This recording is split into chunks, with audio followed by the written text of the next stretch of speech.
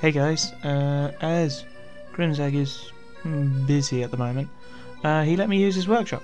So I'm going to show you how to make some awesome clown ork heads using well, using a bit of green stuff. It makes it more interesting on the battlefield. Uh, today we're going to be making some clorks. Are you ready? Great.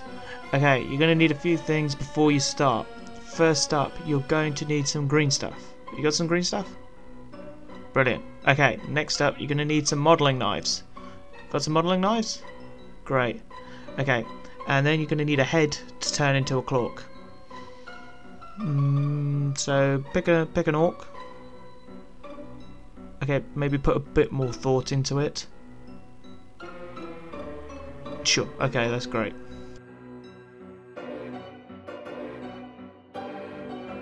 Okay, next up you're going to need a smooth surface to work on, so I went with a small plate.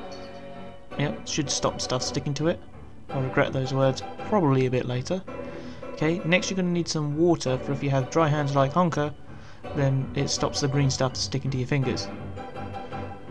Okay, then you're going to need your green stuff.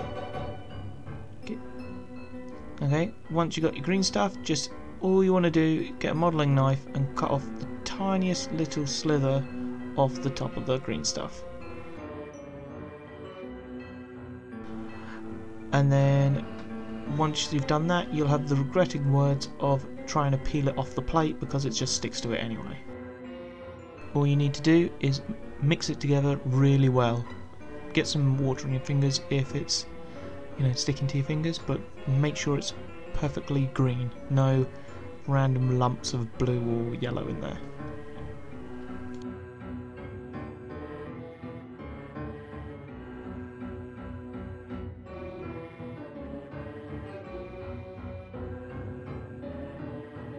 You want to break off a small piece of green stuff of the lump you've generated and mold it into basically a cone shape like that. And then jam it onto the ork's head. Probably have to do this a few times because um, I ended up having to do it several just to get the right size and try and make it a little bit bigger but not too big uh, and then just basically shape it onto the head to make it look like a like a weird little blob hat.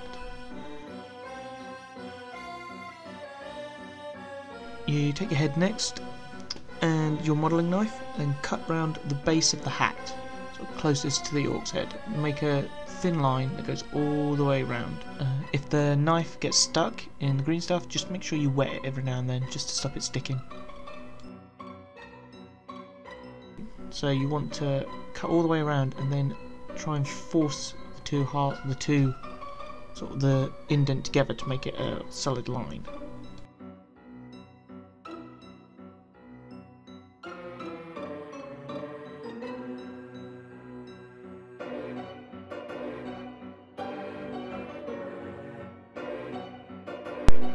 Finally, you want to break off three tiny balls of green stuff the first one you want to you want to roll it into a perfect little ball and stick it on the very tip of the hat as a little bauble. And once you've done that and it stays there take the second one and you cut it in half. It should all be equal size and then roll the two halves into their own little balls as well. And you want to stick those down the front of the hat you can put them slightly off centre, whatever you like, but one above the other on the front of the hat.